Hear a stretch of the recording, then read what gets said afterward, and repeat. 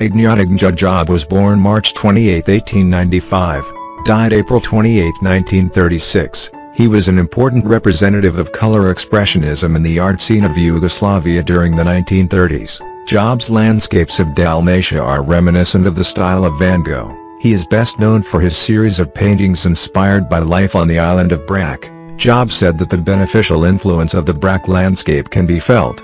The hot sun, blue sea, and green branches of olive trees swayed by the breath of the maestral, his paintings depicted the Mediterranean landscape, motifs of the town of Supetar, fishing themes, and more rarely portraits and nudes.